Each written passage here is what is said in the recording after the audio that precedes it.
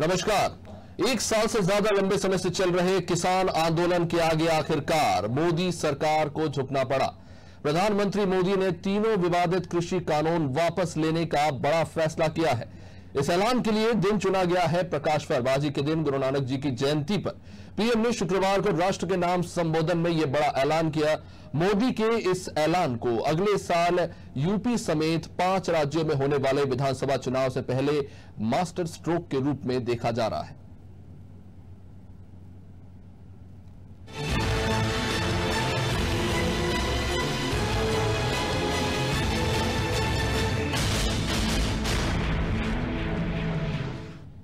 किसानों के आगे केंद्र की मोदी सरकार झुक गई। पीएम मोदी ने देश के नाम संबोधन में बड़ा फैसला लेते हुए तीनों विवादित कृषि कानून वापस लेने का फैसला लिया। उन्होंने कहा कि सरकार ये कानून काश्तकारों के हित में नेक नियत से ये कानून लाई थी, लेकिन हम कुछ किसानों को समझाने में नाकाम रहे। देश के सामने है, इसलिए मैं इनके अधिक विस्तार में नहीं जाऊँगा। साथियों मैं आज देशवासियों से क्षमा मांगते हुए सच्चे मन से और पवित्र हृदय से कहना चाहता हूँ कि शायद हमारी तपस्या में ही कोई कमी रही होगी, जिसके कारण दिए के प्रकाश जैसा सत्य कुछ किसान भाइयों को हम समझा नहीं पाए। आज गुरु नानक देव जी का पवित्र प्रकाश पर्व है। ये समय किसी को भी दोष देने का नहीं है। आज मैं आपको, पूरे देश को ये बताने आया हूँ कि हमने तीन कृषि कानूनों को वापस लेने का, रिपील करने का निर्णय लिया है। इस महीने के अंत में शुरू होने जा रहे संसद सत्र में, इसी महीने में, हम तीनों कृषि कानूनों को रिपील करने की संवैधानिक प्रक्रिया को पूरा कर देंगे। साथियों, मैं आज अपने सभी आंदोलनरत किसान साथियों से आग्रह कर रहा हूँ, आज गुरु पर्व का पवित्र दिन है।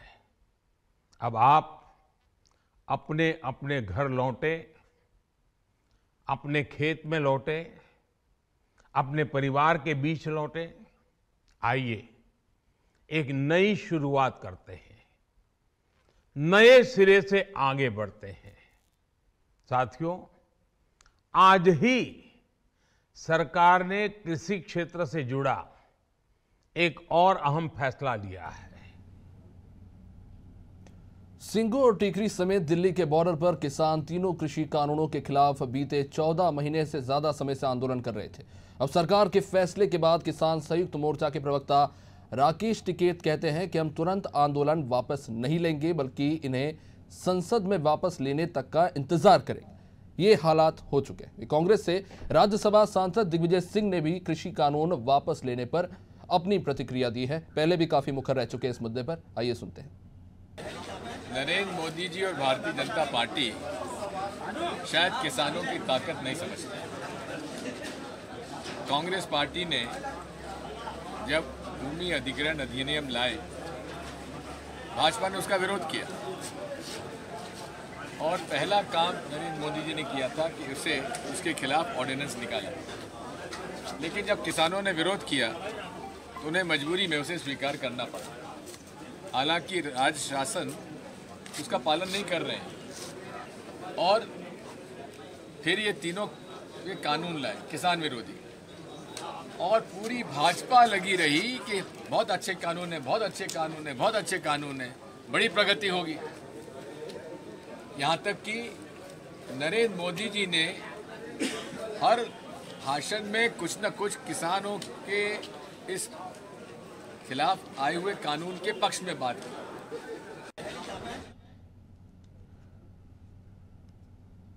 इन तीनों नई कृषि कानूनों को 17 सितंबर 2020 को लोकसभा में मंजूर किया गया था।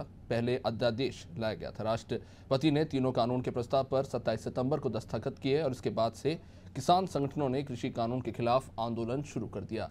पहला कानून था कृषक उपज व्यापार और वाणिज्य विधेयक 2020 इस कानून में एक ऐसा इकोसिस्टम बनाने का प्रावधान था, जहाँ किसान और कारोबारियों को मंडी के बाहर फ़सल बेचने की आज़ादी थी। कानून में राज्य के अंदर दो राज्यों के बीच कारोबार को बढ़ावा देने की भी बात कही गई थी। साथ ही मार्केटिंग और ट्रांसपोर्टेशन का खर्च कम करने की भी के लिए इस कानून में प्रावधान थे। दूसरा कानून था कृषक सशक्तिकरण, संरक्षण, कीमत आश्वासन और कृषि सेवा पर करार विधेयक 2020 इस कानून में कृषि करारों पर नेशनल फ्रेमवर्क का प्रावधान किया गया।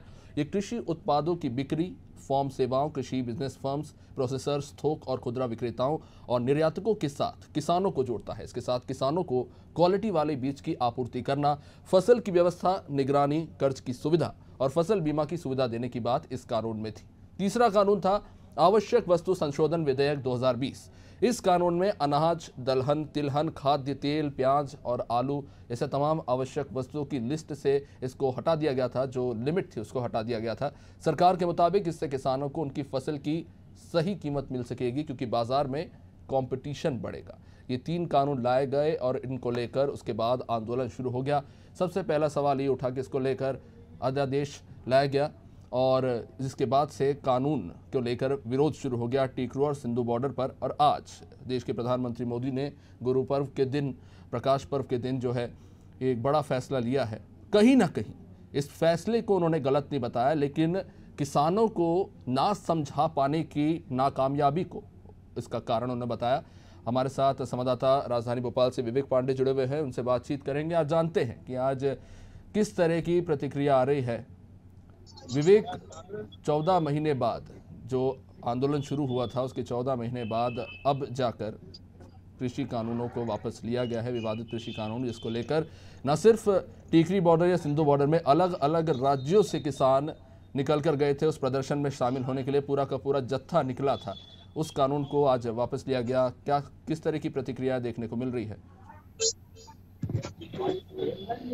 देखिए, ये जो तीन काले कानून थे, इसको लेकर जो केंद्र की सरकार थी, उसने तीन दलीलें दी थी कि तीन जो कानून है, वो किसान को उसकी आय दोगुनी और जो किसान की जो खेती के दौरान जो लागत होती है, उसमें काफ़ी ज़्यादा फ़ायदा मिलेगा। लिहाजा जो मध्य प्रदेश सरकार के किसान थे, वो लगातार विरोध कर रहे थे और सबसे पहले जो पहल हुई थी पंजाब चंडीगढ़ और उत्तर प्रदेश, ये तीन ऐसे राज्य हैं जिन्होंने ये तीन काले कानूनों के खिलाफ विरोध किया था और उसके बाद से कई अन्य राज्य भी समर्थन कर रहे थे। मध्य प्रदेश में सबसे अधिक जो है वो ग्वालियर, चंबल और मालवा के जो किसान थे, वो लगातार विरोध प्रदर्शन कर रहे थे। हालाँकि राज्य सरकार जो है, वो ये लगातार दावा कर रही थी कि इन तीनों कानून के लागू होने के बाद जो है, वो किसानों की आय दूरी सहित कई अन्य जो उनकी समस्याएँ हैं, वो जो है, वो उनकी दिक्कतें दूर हो जाएगी। किसानों की एक सबसे बड़ी मांग थी कि अगर ये तीन कानून तीन काले कानून लागू होते हैं तो जो मंडी की मंडी की जो बात रहती थी कि मंडी में किसान जो है, वो अपने समर्थन मूल्य पे एमएसपी की दर से खरीदी और बिक्री करता था वो खत्म हो जाएगी। तो ये जो तीन मुद्दे थे इनको खत्म करने के लिए लगातार किसान जो है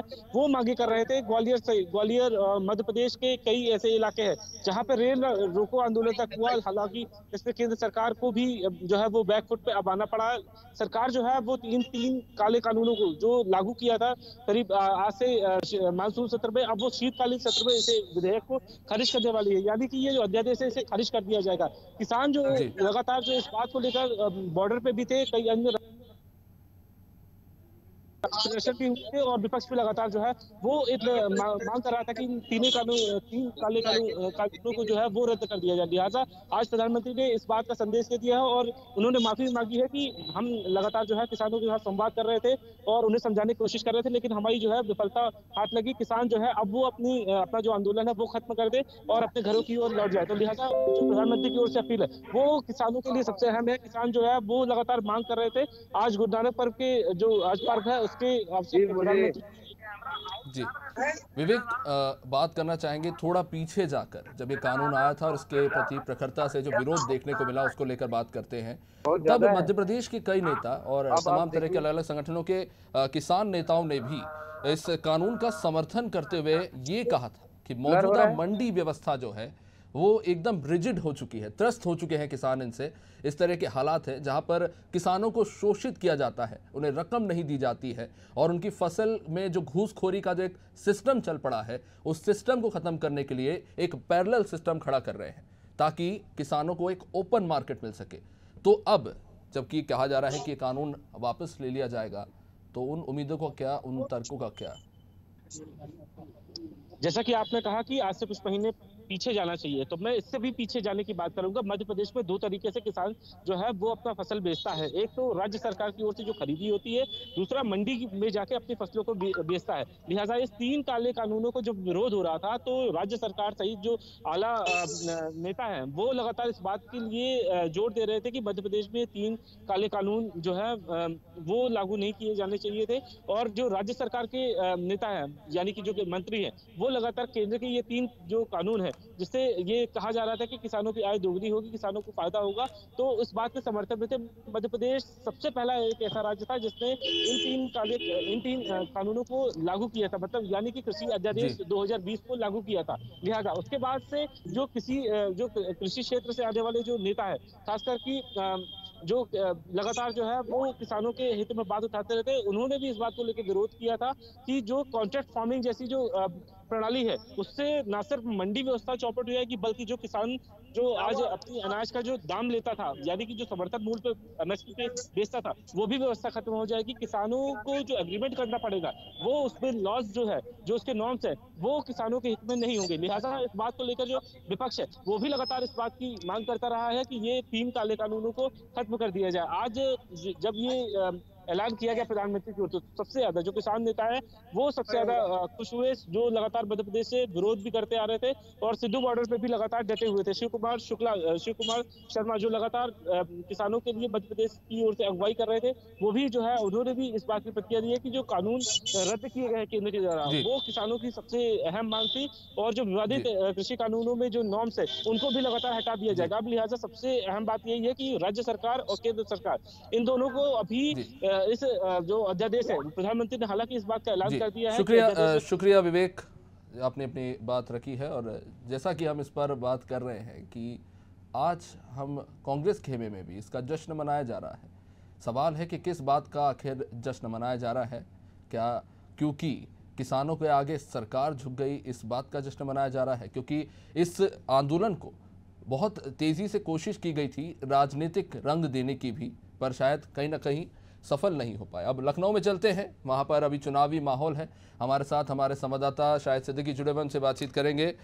सिद्दीकी साहब, आज हम देख रहे हैं कुछ अलग माहौल है। आज सबसे पहले तो गुरुपर्व की बहुत बहुत बधाई और क्योंकि खुशी का माहौल है, जो किसान कानून, कृषि कानून का विरोध कर रहे थे, आज उनमें थोड़ी राहत है। और कहीं ना कहीं पंजाब विधानसभा और यूपी विधानसभा चुनाव से भी इसको जोड़कर देखा जा रहा है। लेकिन मोटा मोटी देखें तो क्योंकि चौदह महीने से किसान प्रदर्शन कर रहे थे, उत्तर प्रदेश से भी भारी संख्या में किसान पहुँचे थे। अब घर लौटना चाहते हैं?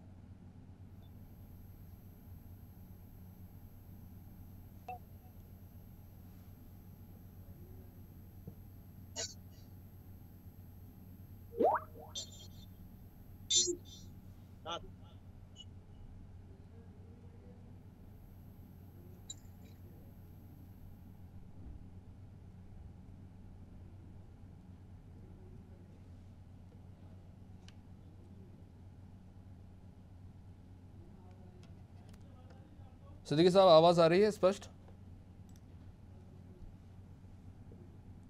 चलिए, लगता है कुछ तकनीकी समस्या सी एक बार फिर से पूछते हैं। शाहिद जी, कृषि कानून आज प्रकाश पर्व पर प्रधानमंत्री मोदी ने जो बड़ा ऐलान करते हुए वापस लिया, इसमें उन्होंने कहा कि दिए के प्रकाश समान सत्य को हम किसान भाइयों को समझा नहीं पाए और क्षमा मांगते हुए उन्होंने तीनों कृषि कानून वापस लेने का, इस शीतकालीन सत्र में वापस लेने का ऐलान कर दिया। और क्योंकि उत्तर प्रदेश में भारी संख्या में किसान थे जो इस प्रदर्शन से जुड़े थे, कृषि आंदोलन जो बीते चौदह महीनों से भी ज़्यादा समय से चल रहा था। क्या लगता है? अब इस ऐलान के बाद वापस लौटेंगे? कई नेता कह रहे हैं कि जब तक जो लोकसभा है, वहाँ पर पारित नहीं होता, तब तक हम वहीं पर डटे रहेंगे। बिल्कुल आज प्रधानमंत्री नरेंद्र मोदी ने प्रकाश पर्व पर तीनों किसान बिल वापस ले लिया और किसानों के लिए किसानों से माफ़ी भी मांगी और उन्होंने कहा किसान अपने घर जाए। उत्तर प्रदेश में 2022 का चुनाव थे अभी अखिलेश यादव ने प्रेस कॉन्फ्रेंस करके कहा है किसान की नाराज़गी प्रधानमंत्री नरेंद्र मोदी नहीं दूर सक, कर सकते। वहीं आम आदमी पार्टी के प्रवक्ता संजय सिंह ने भी प्रधानमंत्री पर निशाना साधा है कि एक साल तक क्या प्रधानमंत्री सो रहे थे? जब किसान परेशान था और जब तक मानसून सत्र में आ, किसान बिल पारित नहीं होता है किसानों के तीनों बिल माफ़ नहीं किए जाते हैं और ये कानून काला कानून हटाया नहीं जाता है और एमएसपी के रेट की गारंटी नहीं मिलती तब तक ये नहीं माना जाएगा। भले ही किसान नेता राकेश टिकैत ने नवंबर में बहुत बड़ा प्रदर्शन उत्तर प्रदेश में करने को लिए कहा था मगर आज प्रधानमंत्री ने तीनों कानून वापस लेके ये तय कर दिया है कि किसान उनसे नाराज़ ना हो और किसान उनके साथ रहे।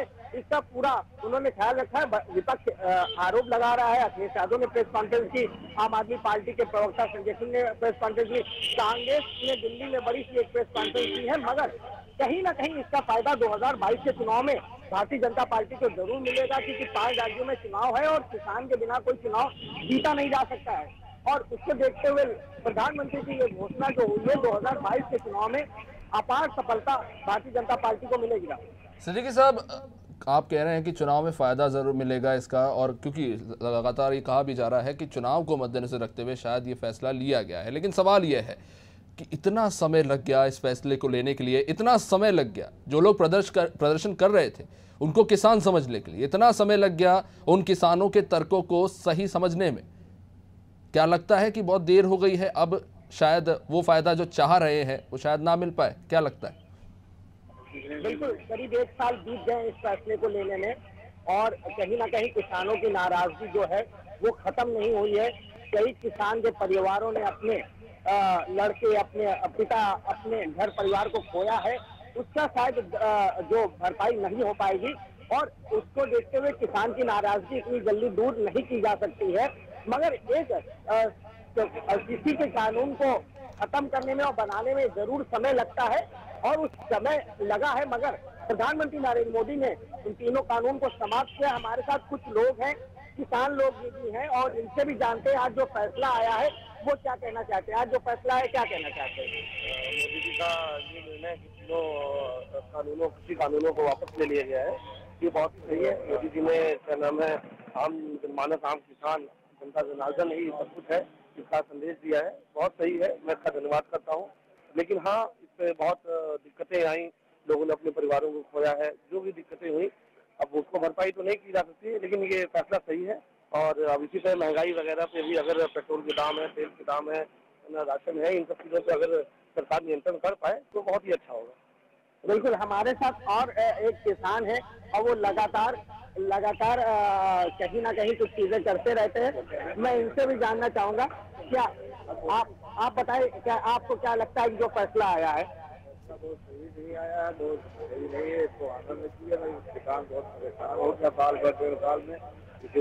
शायद शायद लगता है कई तकनीकी समस्या है विजुअल्स क्लियर नहीं आ रहे हैं। हम आपके पास वापस लौटेंगे, हमारे साथ ग्वालियर से हमारे संवाददाता जुड़ चुके हैं, उनसे बातचीत करेंगे। चलिए, हमारे साथ ग्वालियर से संवाददाता जुड़ रहे हैं। कुछ तकनीकी समस्या है।